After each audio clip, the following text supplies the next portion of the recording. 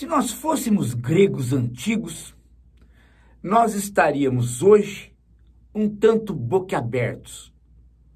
Nós estaríamos olhando o concurso de Miss e ao mesmo tempo olhando o Palácio do Planalto e dizendo: há algo errado no mundo.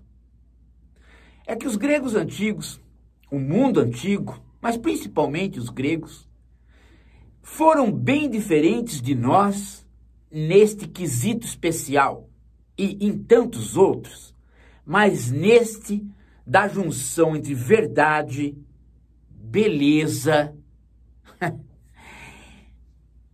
e o bem, ou aquilo que é o, o bom, entre os três grandes valores da filosofia, os gregos costumavam transitar e tomar como sinônimos muito mais do que nós. É claro que muitas vezes nós falamos, isto é belo, e não estamos querendo dizer que é belo no sentido estético, mas que é belo é, no sentido moral.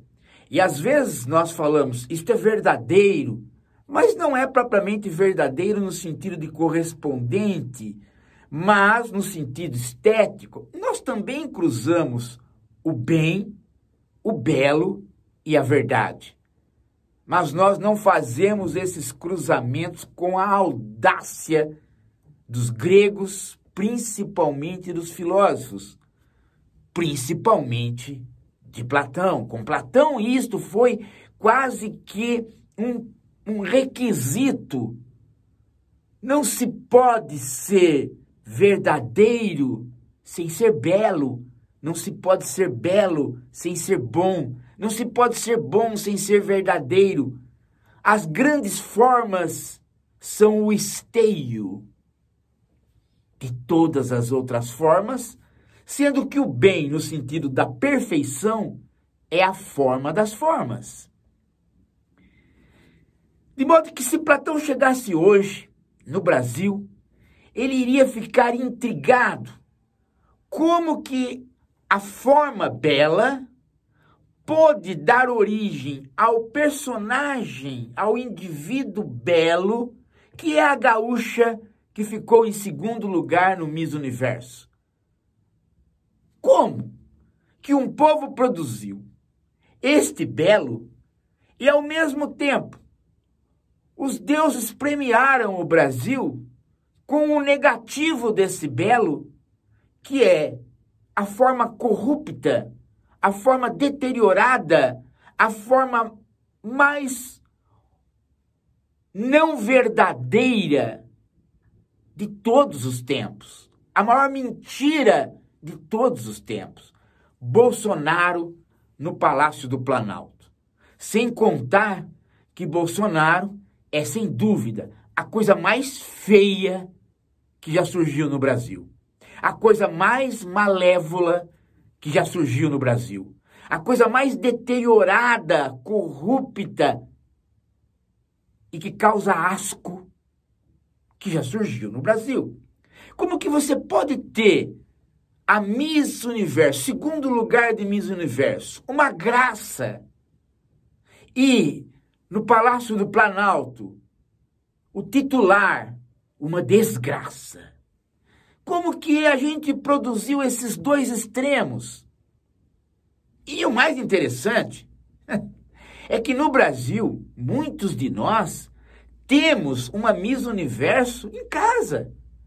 As mulheres brasileiras são lindas, Bom, mas nós temos que dizer o seguinte, né? Elas não votaram, na maioria delas, naquela coisa que ocupa o Palácio do Planalto. A resistência a Bolsonaro foi justamente das mulheres. Continua sendo. Eu, por exemplo, tenho não o segundo lugar de Miss Universo em casa, mas o primeiro. A minha esposa ontem fez uma dança sensual para mim, que fez com que simplesmente eu levitasse. Eu esqueci por meia hora de dança a existência do maligno Bolsonaro. Eu, eu durante meia hora, eu curti aquele umbigo mexendo, como se ele pudesse dizer para mim: Hoje os teus olhos vão descansar das mortes da Covid por algum tempo. Hoje, Paulo Giraldelli, professor, hoje, nesta noite, a bunda rebolante da médica vai lhe dar a condição de você respirar para no dia seguinte você poder enfrentar de novo a calamidade pública de um governo maldito. E por isso eu consegui levantar hoje. Se bem que eu também consegui, e com facilidade incrível, levantar ontem à noite, após essa dança. Sabe, uma das coisas que a Mariângela tem é a inteligência fantástica, que ela aprende as coisas numa rapidez imensa. Mas quando ela quer ser sensual, e quando ela não quer ser sensual, ela é sensual. Talvez isso seja a condição da brasileira. Às vezes eu vejo né, o que ocorre com as brasileiras que trabalham manualmente. No meu prédio tem várias brasileiras que trabalham na limpeza. Elas estão ali de macacão, cabelo preso, com o rosto marcado e as mãos muito marcadas. Ao irem embora para casa, você cruza com elas no ponto de ônibus. Elas estão todas maquiadas, com as calças apertadas, com bumbuns rebitados para pegar o ônibus com Covid.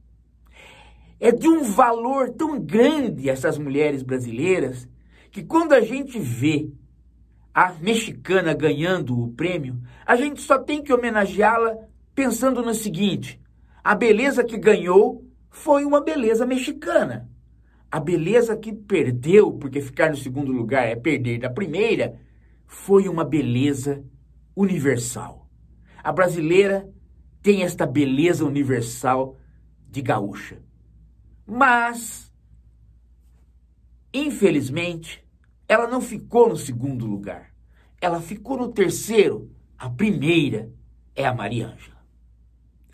A mulher que me faz eu poder chegar aqui e dizer para vocês que o Eduardo Bananinha, miliciano, que quer intimidar o canal, não intimida.